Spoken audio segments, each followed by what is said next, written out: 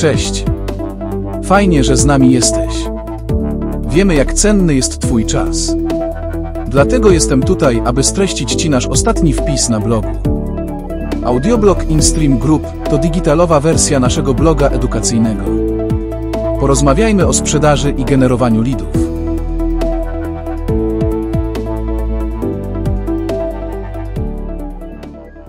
Sprzedażowy audioblog, odcinek 22. Czy zakup baz mailingowych jest legalny? Posiadanie odbiorców dla swoich treści to kluczowe wyzwanie zespołów marketingowych, ale także całych przedsiębiorstw. Popularnym rozwiązaniem do pozyskania grupy odbiorczej, zarówno do komunikacji marketingowej, jak i do działań sprzedażowych, jest zakup gotowych baz mailingowych. Czy po ostatnich zmianach ustawowych jest to działanie zgodne z prawem? W jaki sposób sprawdzić, że dane w takiej bazie zostały pozyskane rzetelnie i są one wartościowe? Punkt pierwszy. Co to są bazy mailingowe? Bazy mailingowe to jedno z najbardziej popularnych źródeł danych marketingowych. Stosowane są od wielu lat i dostarczają zespołom marketingowym możliwość skontaktowania się z bardzo dużą liczbą potencjalnych klientów. Rola baz mailingowych zmieniła się jednak na przestrzeni wielu lat. Główny wpływ na tę sytuację ma przede wszystkim obecna regulacja prawna oraz sytuacja związana z ustawą telekomunikacyjną, regulującą te kwestie osobno w każdym kraju Unii Europejskiej. Bazy mailingowe stosowane są w zakresie nie tylko pozyskiwania klientów, ale również w celach czysto marketingowych, informacyjnych czy edukacyjnych. Dostęp do baz mailingowych na rynku jest stosunkowo bardzo prosty. Istnieje wiele firm, które zarabiają na sprzedaży tego rodzaju informacji. Firmy te posiadają dane, które są agregowane na wiele sposobów. Niestety bardzo trudna do zweryfikowania jest jakość tego rodzaju danych. Dlatego bardzo często bazy mailingowe są źle kojarzone. Mimo wszystko, posiadanie dobrej jakości bazy daje olbrzymie możliwości w firmie, a także wzbogaca jakość prowadzonych działań marketingowych w zakresie organizowania webinarów, newsletterów i komunikacji z potencjalnymi klientami. Zakres danych, jakie możemy zakupić w ramach gotowej bazy mailingowej jest naprawdę różny. Istnieją firmy, które specjalizują się w wzbogacaniu takich danych. Istnieją również firmy, realizujące bazy danych w konkretnych segmentach oraz takie, które gromadzą ogólne dane gospodarcze. Najczęściej spotykane dane to dane firm oraz podstawowe informacje gospodarcze, takie jak obroty, zatrudnienie, informacje zaimportowane z systemu KRS oraz podstawowe dane kontaktowe, jakie tej firmie udało się zdobyć. Istnieją również podmioty, które agregują dane osobowe osób fizycznych. Najczęstszy sposób przygotowania takich baz opiera się na posiadaniu możliwie dużej liczby stron internetowych, które udostępniają różnego rodzaju wartość dostępną po zostawieniu danych kontaktowych przez konsumenta i wyrażeniu zgody na dalszy kontakt marketingowy i ich przetwarzanie w szerokim zakresie. W ten sposób firmy gromadzą informacje, którymi później mogą handlować. Bardzo podobnie odbywa się w przypadku aplikacji mobilnych oraz gier. Format baz to najczęściej pliki Excel, bądź też bardziej rozbudowane pliki o strukturze bazodanowej, które w łatwy sposób pozwalają danymi zarządzać, przeglądać je, a także importować do różnego rodzaju systemów marketingowych czy też systemów sprzedażowych. W artykule skupimy się nie tylko na samym formacie baz mailingowych, ale też kwestii ich legalności czy też sposobie pozyskiwania.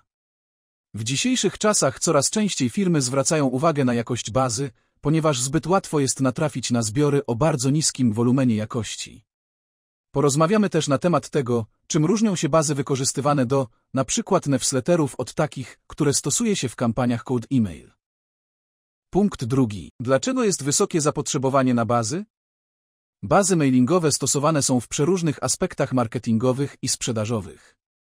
Najbardziej powszechnym elementem stosowania baz są oczywiście działania marketingowe. W tym przypadku jednak firmy najczęściej generują bazy we własnym zakresie.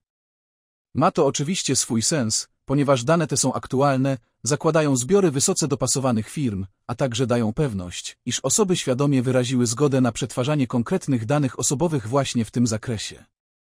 Istnieją jednak inne elementy marketingu, do których wykorzystywane są dane pochodzące z zakupionych zbiorów. Jednym z najczęstszych elementów są oczywiście masowe kampanie marketingowe. Kojarzone są z rynkiem telekomunikacji, rynkiem bankowym czy z rynkiem, który zderza się z bardzo dużą liczbą konsumentów naraz. Firmy tego rodzaju nieustannie konkurują w dotarciu do klienta, dlatego też wartość w postaci dobrej jakości bazy jest dla nich bardzo istotna. Jeszcze inny element zastosowania baz danych to działania typu cold email. W tym wypadku jakość posiadanych danych jest chyba najbardziej istotna. Skuteczne kampanie cold email opierają się na wysokiej jakości bazie danych. Co więcej, w przypadku każdej z tej działalności, do prowadzenia jej zgodnego z prawem, potrzeba innego rodzaju zgód oraz innego rodzaju procesowania w kontekście RODO. Konkurencyjność rynku powoduje, że firmy prześcigają się w sposobie generowania dobrej jakości baz. Posiadanie dobrego zbioru daje przewagę nad konkurencją. Dlatego też firmy bardzo chętnie inwestują w przeróżnego rodzaju portale, blogi informacyjne, aplikacje oraz inne formy, które wzbogacają posiadane przez organizacje zbiory. Nie bez powodu tak wiele tematów, często kontrowersyjnych, dotyczy przeróżnych aplikacji mobilnych, które wydają się być darmowe, co nie ma uzasadnienia biznesowego, jednak w rzeczywistości są niczym innym, jak narzędziem do zbierania wysokiej jakości danych. Nowe technologie umożliwiają organizacjom coraz nowsze sposoby gromadzenia danych. Nie zawsze prawo jest w stanie podążać za tymi zmianami. Obecnie w różnych regionach świata prowadzone są różne działania legislacyjne, które służą regulacji sposobu przetwarzania i agregowania danych. W Unii Europejskiej jest to oczywiście GDPR.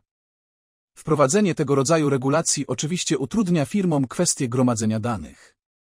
To nie tylko powoduje, że dane stają się coraz droższe, ale też ich aktualizowanie, przetwarzanie i udostępnianie podmiotom trzecim staje się coraz trudniejsze. Jest to oczywiście bardzo cenna informacja dla nas konsumentów, ale równie niekorzystna dla nas jako przedsiębiorców. Dlatego też firmy nie tylko powinny skupiać się na nowych technologiach, które usprawniają gromadzenie danych, ale przede wszystkim powinny świadomie je przetwarzać. Dzięki temu nie narażają się na ryzyko związane z naruszeniem prawa, a nadal wzbogacają swoje zbiory. Ciągłe zapotrzebowanie na świeże dane, które wykorzystywane mogą być w marketingu, jest też związane ściśle z faktem, iż coraz częściej nasze dane ulegają przedawnieniu. W porównaniu do przeszłości, coraz częściej zmieniają się nasze prywatne skrzynki mailowe, coraz częściej zmieniają się nasze numery telefonu, a także wszelkie inne dane, chociażby adresy mailowe, z których korzystamy w firmach. To powoduje, że dane, które znajdują się w przeróżnych zbiorach, bardzo szybko tracą na jakości. Statystycznie, baza danych w trakcie roku, jeżeli nie jest odpowiednio aktualizowana, może stracić nawet do 40% aktualności co do posiadanych danych. To powoduje, że oczywiście wartość rynkowa takich baz drastycznie spada. Dlatego też wyzwanie związane z utrzymaniem wysokiej jakości wcale nie jest takie proste. W związku ze zmieniającym się sposobem prowadzenia działań sprzedażowych, na co bezpośredni wpływ miała sytuacja związana z COVID-19 i fakt, że coraz więcej firm przekonuje się do działań innych niż klasyczna sprzedaż w terenie, dużą rolę w działaniach sprzedażowych zaczyna odgrywać cold mailing. Tworzy to konieczność posiadania bardzo wysokiej jakości danych. Punkt trzeci. Co o zakupie baz mailingowych mówi prawo? Sposób gromadzenia danych jest dokładnie regulowany w każdym kraju. Dodatkowo organizacje, takie jak Unia Europejska narzucają bardziej rozbudowane wytyczne dotyczące przetwarzania danych osobowych.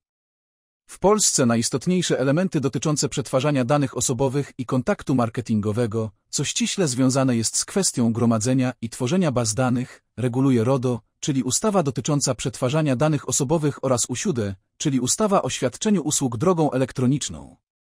Niestety świadomość w Polsce dotycząca sposobu przetwarzania danych oraz tego, jakie prawa przysługują nam obywatelom, jest w dalszym ciągu bardzo niska.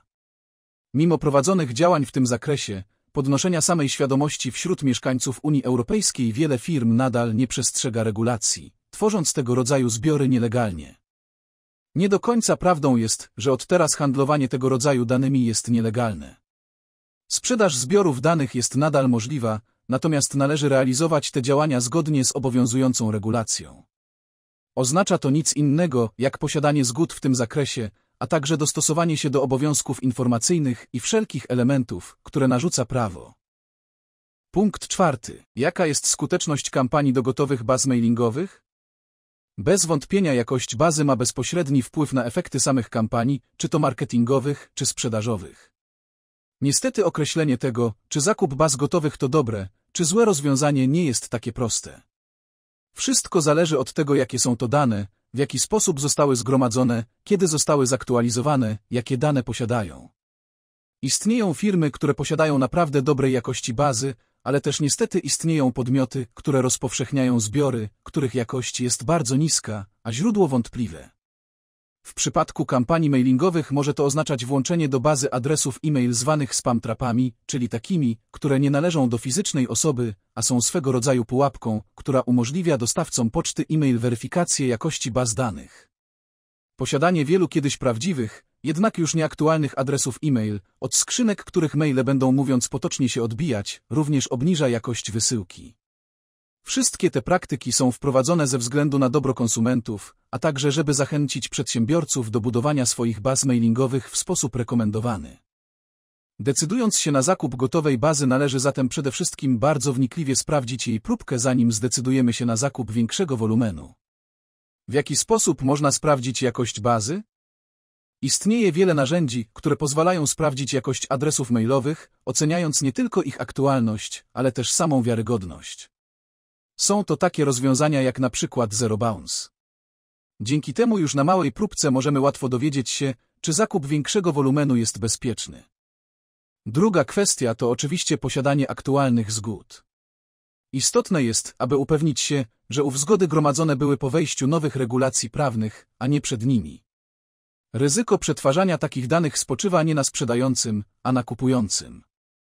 W momencie nabycia takiego zbioru i rozpoczęcia przetwarzania tych danych, ponosimy pełną odpowiedzialność prawną. Oczywiście, że możemy rościć od sprzedającego zwrot finansów w przypadku jej niskiej jakości. Nie zmienia to jednak faktu, iż w przypadku braku zgód pełnimy pełną odpowiedzialność wobec adresatów, których dane przetwarzamy. Punkt piąty. Alternatywy dla zakupu baz mailingowych. Zakup bazy mailingowej nie jest jedynym rozwiązaniem, na szczęście. Oczywiście, że istnieją inne sposoby gromadzenia danych, które zresztą są bardzo popularne wśród firm i skutecznych marketerów. Działania te nie są jednak proste, nie są też szybkie w realizacji. Przewagą działań wewnątrz organizacji w zakresie gromadzenia danych jest to, iż dbamy o wysoką jakość danych, ich aktualizację, a także kwestie posiadania zgód. Jednym z najczęściej stosowanych sposobów to oczywiście tworzenie różnego rodzaju landing page, które oferują content o wysokiej wartości, jak na przykład e-booki, newslettery, webinary i wszelkie inne elementy, do których dostęp możliwy jest poprzez pozostawienie danych kontaktowych i wyrażenie zgody na przetwarzanie. Innym elementem jest oczywiście gromadzenie danych pod newsletter firmowy. Gromadzenie danych w celach handlowych oraz gromadzenie w celach czysto informacyjnych powinno być od siebie oddzielone. Firmy zapominają, że w obecnym systemie prawnym posiadanie zgód na przetwarzanie danych osobowych nie jest jednoznaczne z możliwością składania niezamówionej oferty handlowej. Dlatego też gromadząc dane, należy bardzo wyraźnie wskazywać cele przetwarzania oraz warto też rozdzielić miejsca, w których gromadzimy dane pod newsletter, czy też osobno pod działania marketingowe i handlowe. Punkt szósty. Podsumowanie. Istnieją sytuacje, w ramach których zakup bazy może być najlepszym rozwiązaniem. Nie można jednoznacznie powiedzieć, że gotowe bazy są gorsze od tych, które tworzone są wewnątrz organizacji. Niemniej jednak przy zakupie takiej bazy należy zdecydowanie zwrócić uwagę nie tylko na jakość bazy, ale również legalność pochodzenia.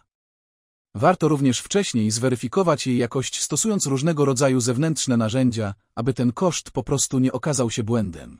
W InStream Group bazy danych tworzymy z wykorzystaniem najnowszych technologii, skupiając się na indywidualnych potrzebach klienta. Nie tworzymy baz danych z wyprzedzeniem oraz nie gromadzimy danych po to, aby następnie nimi handlować. Wszelkie zbiory tworzone są pod zlecenie klienta z wykorzystaniem najnowszych technologii, ale również z zastosowaniem obowiązującego prawa lokalnego jak i europejskiego. To już wszystko na dzisiaj. Mam nadzieję, że usłyszymy się znów niebawem. Jako InStream Group wspieramy firmy jak Twoja w skutecznej sprzedaży, optymalizujemy procesy i zespoły handlowe, pozyskujemy nowych klientów oraz wdrażamy systemy CRM. Jesteśmy do Twojej dyspozycji na naszej stronie internetowej instreamgroup.com. Twój partner w sprzedaży. Do usłyszenia!